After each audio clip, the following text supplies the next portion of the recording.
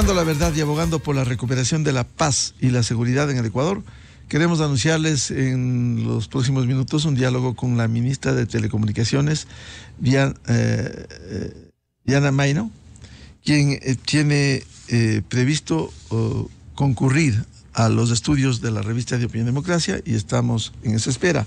Pero mientras ocurre esto, eh, queremos eh, desarrollar el tema que vamos a abordar, la protección de datos personales y también el reglamento expedido por el Ejecutivo que pretende garantizar el derecho de los ciudadanos y conocer dónde está su información personal y cómo se la usó por parte de las instituciones públicas y privadas. Quiero ilustrar precisamente la semana anterior, a propósito de la expedición de este reglamento, un experto en estos temas de, protección de datos personales, el doctor Pablo Solines, resumió lo que significa este reglamento que desarrolla la aplicación de la ley de protección de datos personales. Por favor. Eh, ya desde el punto de vista técnico jurídico sí se hubiese esperado que el reglamento, por ejemplo, eh, venga a, regular aspectos como, por poner un ejemplo, eh, una, definición clara de lo que son fuentes accesibles al público, que de alguna manera viene a, entorpecer el proceso o el sistema de protección de datos al, haber planteado la posibilidad de hacer tratamientos de información o de datos de, aquellos que, que, provienen de estas fuentes accesibles, cuando ahora fuente accesible a través de un Internet globalizado como el que tenemos puede ser considerado todo, ¿no? Eh, pero no se regula, no se define de manera adecuada esto, no se regula de, manera adecuada algunos derechos que, por ejemplo, sí que requerían de ciertas aclaraciones, como es el derecho a la información, como, el derecho, como es el derecho a la portabilidad y, algunos otros derechos que, que de cara a, la protección del ciudadano hubiese sido deseable que tengan un una mayor detalle en cuanto al, alcance de los mismos, al cómo ejercerlos y demás, que tampoco se prevé en esta normativa. Lo propio con el tema de principios, eh, que, que los principios desde el punto de vista del de, la protección de datos son obligaciones en sí mismas y hay algunos principios que requerían de una mayor profundización y, orientación para que sean aplicados de manera adecuada, que tampoco lo hace.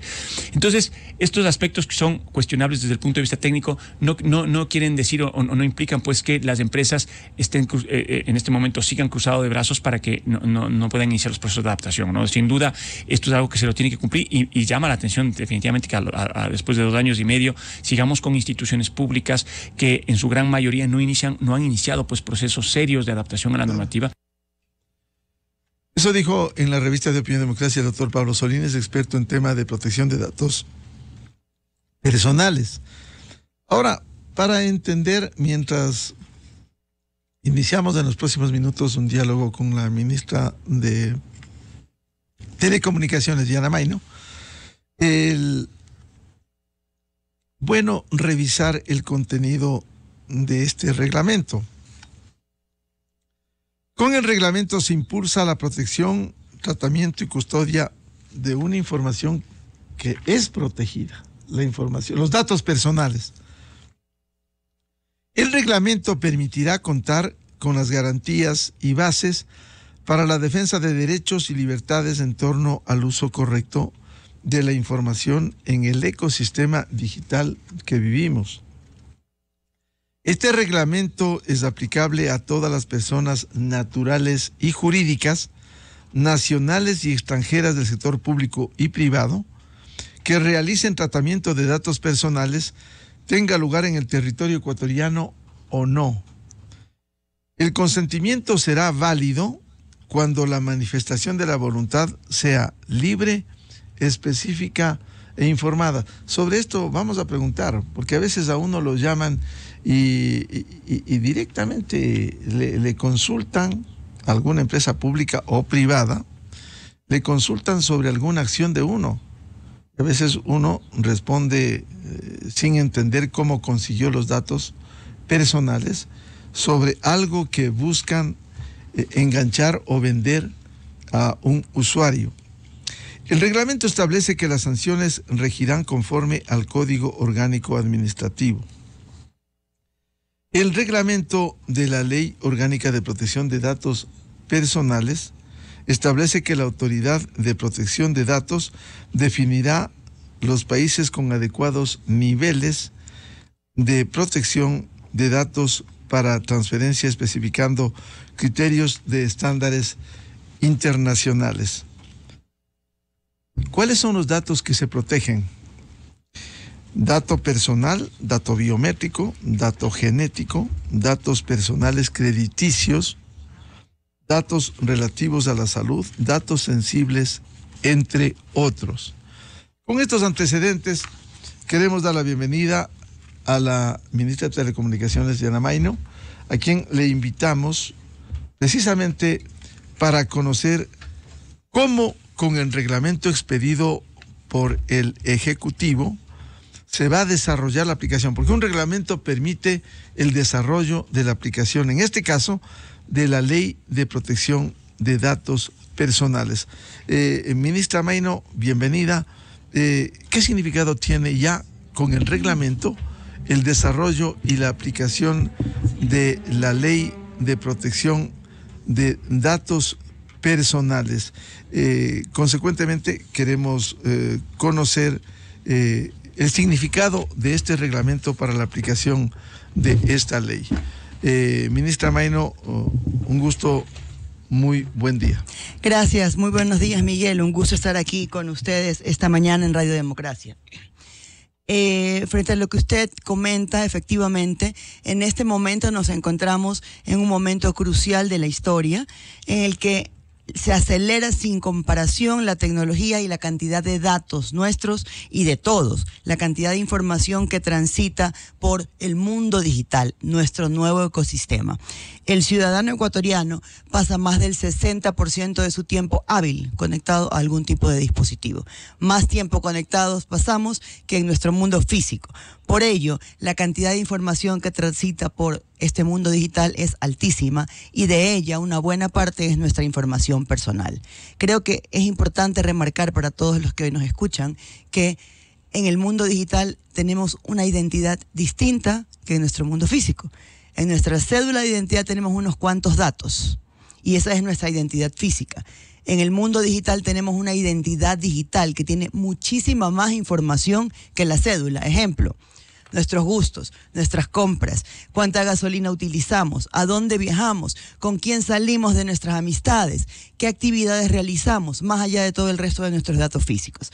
Ahora, a su comentario a su pregunta, efectivamente en Ecuador está vigente la ley de protección de datos al mes de mayo de este año. La semana anterior, la Presidencia de la República emitió el reglamento de la Ley de Protección de Datos. Como todos sabemos, una ley es un qué y un reglamento es un cómo. Eso es lo que ha salido, la norma adjetiva que explica cómo implementar este reglamento y llevarlo ya a la vida real. Entre ellos, cómo podemos nosotros como ciudadanos ejecutar nuestros derechos de protección y de buen tratamiento de datos, entre ellos cómo se aplican los controles, entre ellos cómo se aplican las sanciones. Eh, ministra, con este reglamento se puede decir que se impulsa, se desarrolla la ley de protección, tratamiento y custodia de la información protegida? Sí, sí, Miguel, así es. El, el reglamento lo que mencionaba es que indica cómo ya implementar el derecho de protección de datos. Como mencionaba, la protección de datos implica que en la era que vivimos, que es la era de la información, ya no es la era del conocimiento, estamos en la era de la información. Dentro de ese mar de información, esas montañas de información, tenemos unos cuantos datos que son los personales, que son hoy conocidos como el nuevo petróleo. El dato es el petróleo de la época.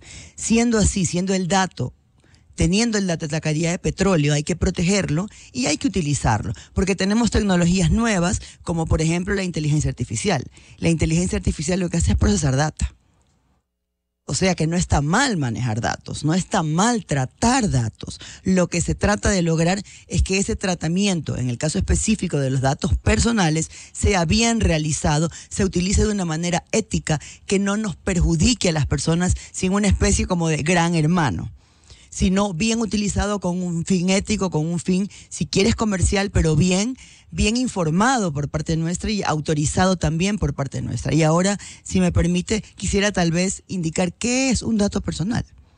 Precisamente, ministra, quería preguntarle, ¿qué significado tiene un dato personal? Porque a veces un usuario recibe una llamada, sea de una empresa de telecomunicaciones, del sector privado, sea de un banco, una institución financiera, una empresa eh, que comercializa productos electrónicos y tiene ya los datos de uno. Uno no le ha dado, pero le llaman. Le dice, usted tiene un crédito preaprobado.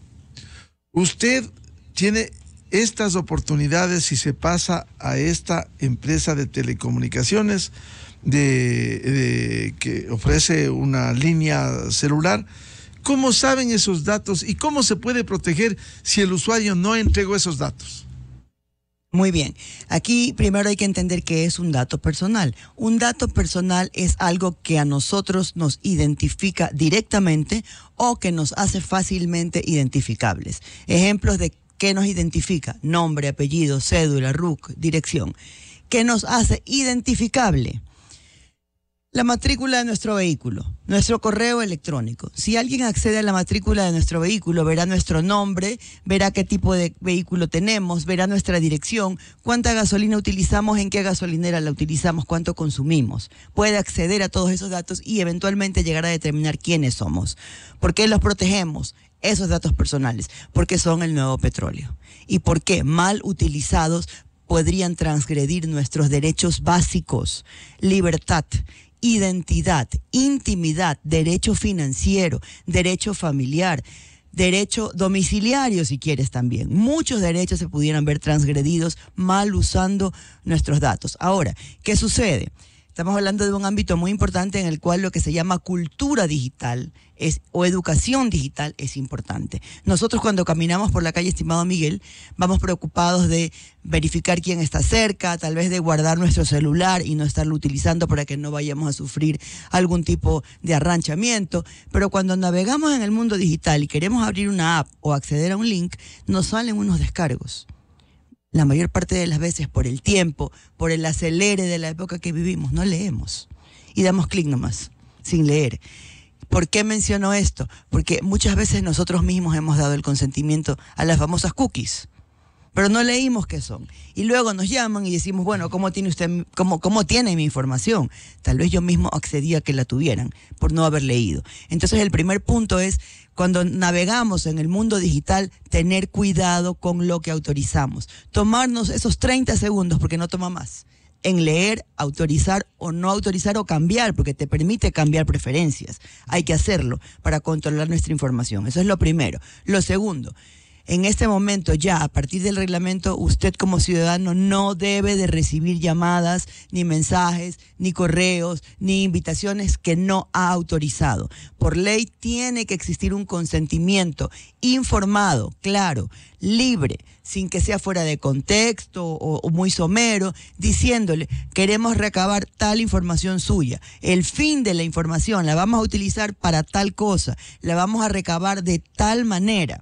Eso es lo que se conoce como el, el, consentimiento que debe de ser libre, explícito, informado, inequívoco del dueño del dato, que sería uno mismo, el titular del dato que se llama, para dar esa autorización o permiso, sin el cual no le deben de hacer la llamada, ofrecer el servicio y tal. Si usted recibe un tipo de acceso de esa naturaleza, tiene el derecho absoluto de preguntar, señor, disculpe, ¿quién me está llamando? ¿A usted quién le autorizó para dar mi dato? Exíbame mi consentimiento. Usted tiene el derecho a pedir y exigir que le exhiban en qué lugar usted consintió. Ahora, si resulta que sí consintió digitalmente o firmó sin darse cuenta, bueno, usted lo autorizó y en ese caso también tiene otro derecho, que es a cambiar de opinión en su consentimiento y, rectificar. No quiero que me llame. Ese es otro derecho que se conoce en esta en este mundo de la protección de datos como el derecho a la rectificación. Hay muchos derechos que tenemos. Tenemos primero el de la, obligación y el derecho nosotros como ciudadanos de que nos pidan el consentimiento antes de recoger nuestra información y más aún antes de tratarla. Pero también tenemos el derecho a cambiar de opinión. De repente usted era cliente de una casa comercial y se muda y ya no es más cliente de esa casa comercial porque ya no le conviene, no le interesa. Tiene el derecho primero a lo que se llama el acceso. Yo, señor, yo soy la persona X, quiero saber esta casa comercial a través de un formulario como este, que por ejemplo ya tiene el SRI, no sé si nos filman por allí. Eh, ahí, sí, eh, un formulario es un prototipo nada más que le dice quién soy, qué derecho quiero ejercer. Uno de ¿Eso hay que llenar y firmar? Sí, las instituciones y las empresas públicas y privadas, en línea por supuesto, tienen el derecho de poder acceder a formularios de este tipo, en el que uno se identifica como el titular del dato y solicita el tratamiento o protección de datos. Uno de esos, voy a poner unos cuantos ejemplos por tiempo nada más, el acceso. Yo quiero saber como ciudadano X que soy titular del dato, qué información mía es la que usted tiene. ¿Por qué tiene tanta información mía? Dígame cuál es la información que usted tiene. Segundo, mi derecho a la rectificación. Señor Casa Comercial, usted tiene una dirección domiciliaria que no es la mía. Rectifique mi dirección porque están llegando, por ejemplo, mis estados de cuenta a una casa que no es mía. Y esas personas se están enterando de qué es lo que yo le debo a usted. Derecho a la cancelación. Cancelo mi consentimiento. Usted ya no puede utilizar mis datos. Bórrelos. Derecho a la oposición. Señor clínica, médica tal o centro de salud tal, usted tiene mis datos porque pues yo me atendí allí médicamente. Me opongo a que usted los utilice. No me puede utilizar para la estadística de datos de enfermedades porque me opongo. Derechos, acceso, rectificación, cancelación, oposición, hay muchos otros. Por ejemplo, no quiero que me utilicen entre la base de datos por la cual salen patrones o perfiles de riesgo. A mí no me pongan allí. Y así seguimos, ¿no? Hay 11 derechos. Ahora, ¿cómo el usuario, ministra Maino, eh, si ocurre lo contrario, si pese a que el reglamento que desarrolla la ley de protección de datos personales viabiliza la aplicación de la ley, si pese a eso, ¿qué sucede si una empresa público privada, hagamos el escenario, usa sin consentimiento del usuario los datos? Sí, mire, el reglamento está justo para eso, el cómo hacer. En este momento ya está vigente la exigencia del formulario que hablábamos, que es el documento que permite al ciudadano ejercer sus derechos, que son varios. Mencioné hace un momento los principales. Ese formulario debe de llenarlo ante la empresa y la empresa tiene la obligación de responderle inmediatamente atendiendo su pedido o de solicitar la información si es que le faltó una sola vez y el tiempo tope son cinco días. Eso ya dice el reglamento. Yo envío el formulario, me faltó, por ejemplo, mi número de cédula, me lo puede pedir la empresa o la institución, remito el número de cédula, luego de cinco días tienen que atender mi pedido o se consideran incumplidos. Si se consideran incumplidos, yo ciudadano X puedo ir a lo que nos está faltando todavía, que es la autoridad de control la nueva Superintendencia de Protección de Datos Personales que tiene que crearse de acuerdo con la ley y ahora en el, tipificado también en el reglamento a ejercer o a reclamar que no pude ejercer ese derecho, que no me lo atendieron. Y ahora algo importante a mencionar, también de acuerdo con la normativa vigente, todas las empresas y todas las instituciones que recopilen, analicen, utilicen, procesen, custodien, perfilen datos personales, tienen la obligación de tener en sus filas, de tener una persona contratada, una persona natural, un ser humano, no una empresa y no un externo, sino una persona de planta que se llama delegado de protección de datos es como un oficial o como alguien obligado o autorizado solo para este tema, protección de datos. Usted como ciudadano, su interlocutor en esa empresa o en esa institución será el delegado de protección de datos. Y a su vez, ese delegado o agente es la persona que se entiende con la autoridad de control para hacer cumplir esos derechos. Que si no se cumplen son sujetos de sanciones como la coacción y la multa. La coacción, la superintendencia le dirá al delegado, haga que la empresa cumpla con el pedido del ciudadano X. No cumplió, no le dio el dato, no le dio el acceso, está multado, la empresa. Eh, ministra Maino, si el régimen sancionatorio contempla multas y hasta que se cree la superintendencia de protección de datos personales, ¿quién sanciona esto? Al momento todavía no, no, se va a poder ejecutar. Sin embargo, nosotros lo que pensamos desde el lado de la autoridad y en mi caso como especialista en la materia, yo, yo he inaugurado en el país a lo largo de mi trayectoria, tengo un poquito más de años de los que parezco, eh, varios procesos nuevos. Cuando llegamos aquí en el país al mercado de valores, por ejemplo, eso no existía. Me tocó a mí ayudar en la creación de toda la reglamentación nueva. Fideicomisos y el mundo de fiducia y titularización, en su momento también. APPs, eh, las participaciones público-privadas, la ley de APPs y así varios temas nuevos. Cada vez que el marco regulatorio y la realidad son nuevos, se necesita una inducción. Todos tienen que ir aprendiendo. En este caso, esta ley es muy transversal. No creo que hay otra que regule de, esta misma forma a empresas públicas como instituciones privadas, a empleados y de representantes públicos como funcionarios del Estado.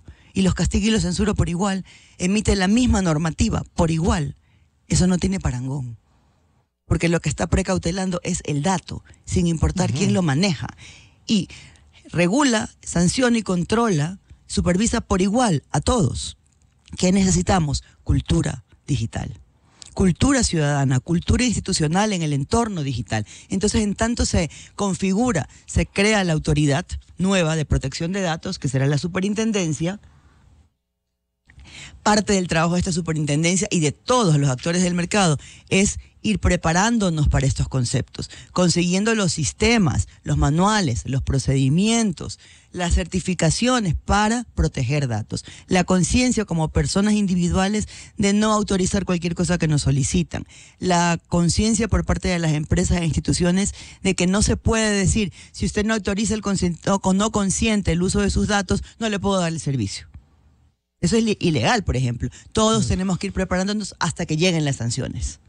Eh, ministra, a propósito de la integración de la superintendencia de control de datos personales, hay que recordarle al país que el presidente Guillermo Lazo remitió al Consejo de Participación Ciudadana una nueva terna para la designación de autoridades de esta superintendencia. A la cabeza de la terna consta de nuevo usted. Está en esa terna.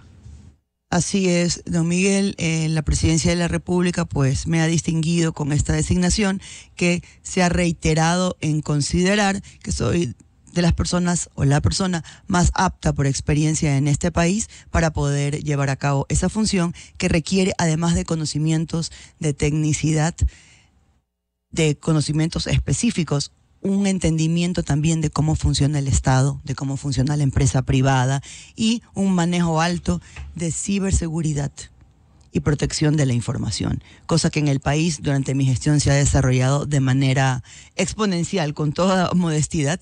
El Ecuador lo recibimos en el año 2021 con un índice de ciberseguridad medido internacionalmente por Naciones Unidas. Todos mis datos son internacionales, porque este mundo que yo manejo es global.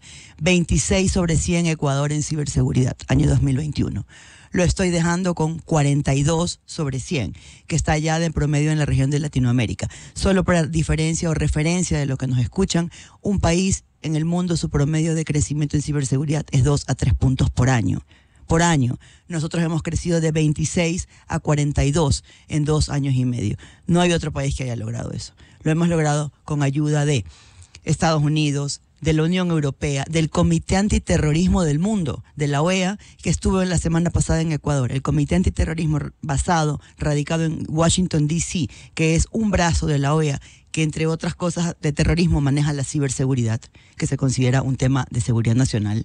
Estuvo en Ecuador dándonos un certificado de Centro Ciberseguro de Latinoamérica nivel top a Ecuador, en Quito, acá en Quito, y hubo todos los países de Latinoamérica capacitándose por parte de ese comité en Ecuador.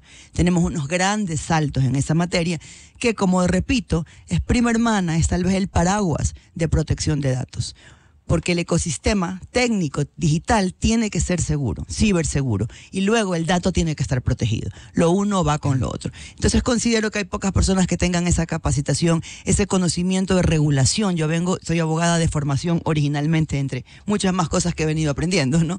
Durante mi carrera, pero regulación implica conocimiento del Estado de muchas, de muchas actividades, porque la protección de datos va para temas, como usted bien dijo al inicio de su intervención, de salud, comerciales, crediticias, financieras, personales, de identidad. Hay que entender cómo funcionan los distintos sectores, porque habrá subregulación sectorial también, y la ciberseguridad como protección de toda la información. Usted, eh, ministra Viana Maino, eh, esperará que el Consejo de Participación Ciudadana, que legalmente le corresponde, inicie este proceso de selección de la titular de la Superintendencia de Protección de Datos a establecerse, eh, porque de lo que conocemos, eh, en la terna usted encabeza, también está Denis Marín, ex asambleísta social cristiano, y la abogada María Alexandra Maldonado Navarro. Esto fue presentado el 13 de octubre anterior eh, una vez que el presidente Lazo retirara la terna anterior, que no llegó a tratarse en el pleno del Consejo, debido a que operaba eh, indudablemente una mayoría correísta, hay que decirlo, que eh, encabezaba el doctor Allen Berbera. ¿Usted espera que se viabilice este tratamiento en el Consejo de Participación Ciudadana? Bueno, el, entre las distintas definiciones que aún están pendientes de tomarse de autoridades de control, considero que esta es una gravitante, no para el sector, sino para toda la ciudadanía del país. Esa es la magia de este tema, que es un tema, como decía, que es transversal, que afecta a toda la colectividad y que tiene incidencia no solo de protección de datos personales, sino en la economía, y en derechos fundamentales como la privacidad, la identidad, la intimidad y los derechos familiares. Por tanto, considero que es un tema de absoluta urgencia para la ciudadanía y, por supuesto, como alguien respetuosa de la institucionalidad del Estado, de las atribuciones de los diferentes entes, respetaré y estaré allí pendiente de lo que el Consejo de Participación Ciudadana defina al respecto y siempre dispuesta a colaborar en la espera de que sea siempre la democracia y lo mejor para el país, lo que prevalece. Un tema final por ahora, ministra Maino. Eh, quienes no entiendan el tema de la reglamentación y la protección de datos personales con la ley en vigencia, ¿cómo pueden acceder para conocer al menos los temas de protección, porque ahí no solo están datos personales, sino dato biométrico, dato genético, datos eh, personales crediticios, datos relativos a la salud datos sensibles como tu identidad sexual, preferencias políticas, culturales y otros temas que inclusive pueden lesionar de otra manera por por discriminación nuestros derechos básicos. Sí, en este caso nosotros tenemos habilitada en la página web del Ministerio la información básica sobre este tema. La pueden acceder, vamos a subir algunos formularios de modelo que otras instituciones tienen y siempre pueden acceder a nosotros a través de nuestras cuentas en redes sociales para mayor información. Bien, la ministra de Telecomunicaciones, Viana Maino, aquí en la revista de Opinión Democracia, por un tema importante que debemos preocuparnos como ciudadanos, la expedición del reglamento que desarrolla la ley de protección de datos personales. Ministra de Maino, muy amable su presencia aquí en la revista de Opinión Muchas gracias a ustedes por la entrevista, gracias Miguel, Rey Democracia, quienes nos escuchan esta mañana soleada. Buenos días. Muchas gracias. Siete, catorce minutos. Enseguida, en la revista de Opinión Democracia. Buscando la verdad, vamos a una pausa publicitaria y les anunciamos luego diálogo aquí en estudios con el secretario de Seguridad, general Wagner Bravo, los temas de interés en materia de seguridad. ¿Cómo queda para la transición de gobierno el tema de la seguridad nacional? Desde 1984 con Gonzalo Rosero, la revista de opinión democracia. Siempre líderes, siempre confiables. Enseguida regresa Miguel Rivadeneira a la búsqueda de la verdad.